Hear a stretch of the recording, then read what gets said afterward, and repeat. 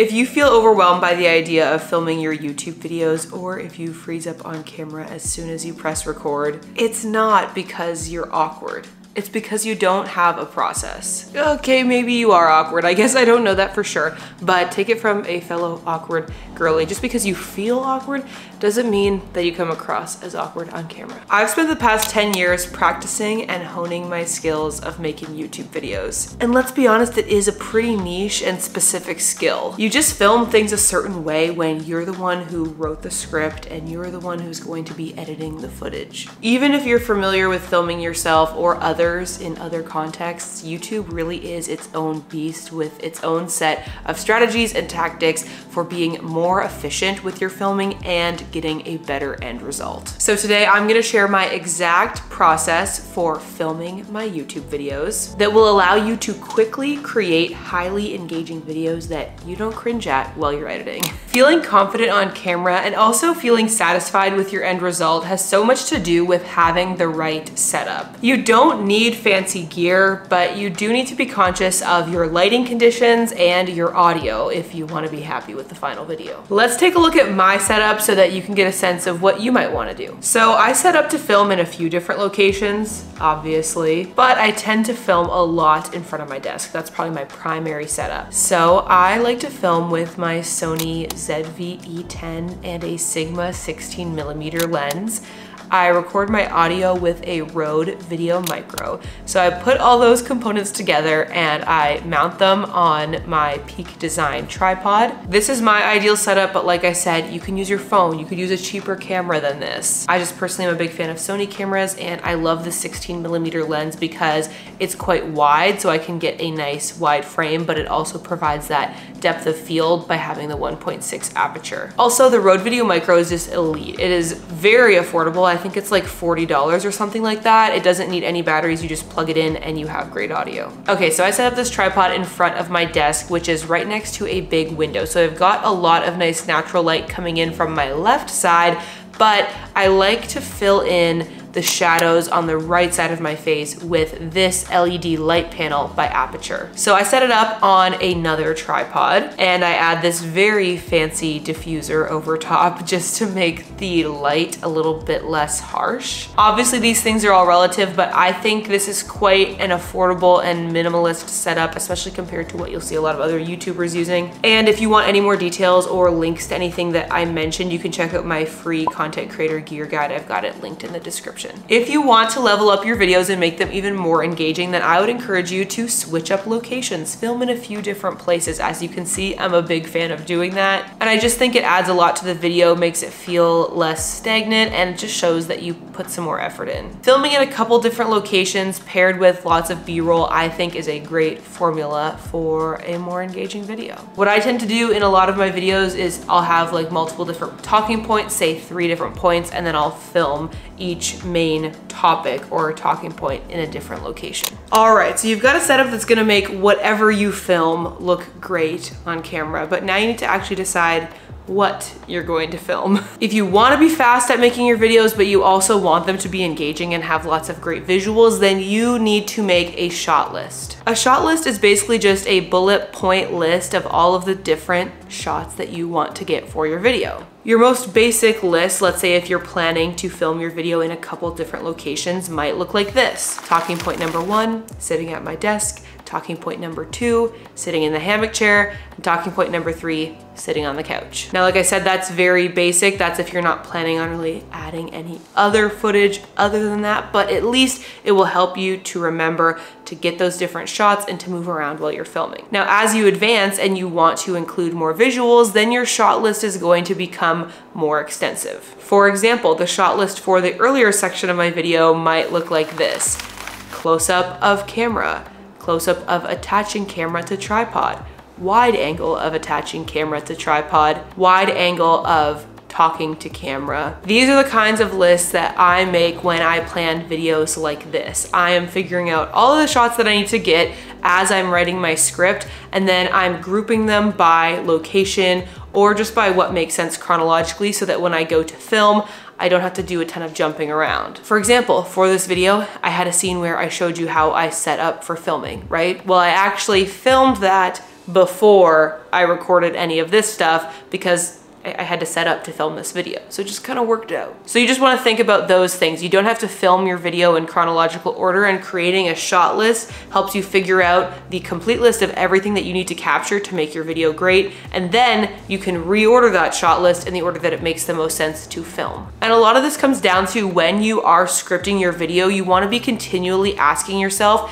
how can I represent this in a visual way? You don't wanna forget that the whole point of YouTube is that people are watching it, right? This isn't a podcast, it's not a blog post. You really want to take advantage of those visuals. Thankfully though, you don't always have to film your own B-roll if you don't physically have the space or the items that you want to film, or if you're just running out of time, then you're gonna wanna check out the sponsor of today's video, Storyblocks. If you've watched my channel for a while, you'll know that I am a big fan of Storyblocks. I myself am a happy longtime customer of the platform. Storyblocks is a stock media website. It is a library of thousands and thousands of clips and assets that you can use to make your videos more engaging, whether that be stock footage, animation templates, sound effects, background music. I personally use assets from Storyblocks every single week in these videos. You may have noticed I love this little paper animation background for some titles Found that on Storyblocks. This film flicker effect that I like to use on some title cards, also from Storyblocks. And when it comes to editing my travel vlogs for my vlog channel, Katie and Dan in a Van,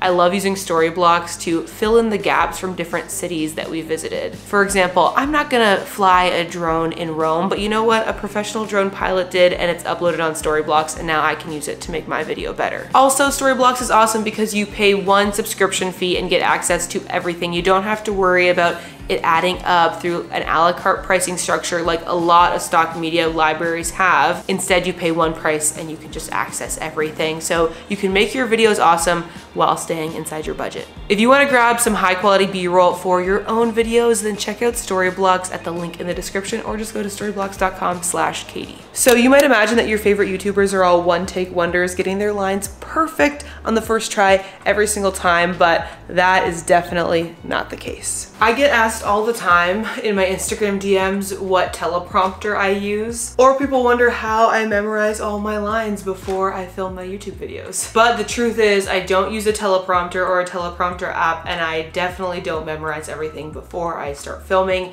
Here is a raw and real look at what filming my YouTube videos really looks like. So I'm set up to film here. I've got the camera here and I've got my laptop that I just set out of frame so that I can glance at my script. So I'm just gonna look over here, read the first line of my outro, and then deliver it to the camera. Getting the right gear setup, developing your shot list, and knowing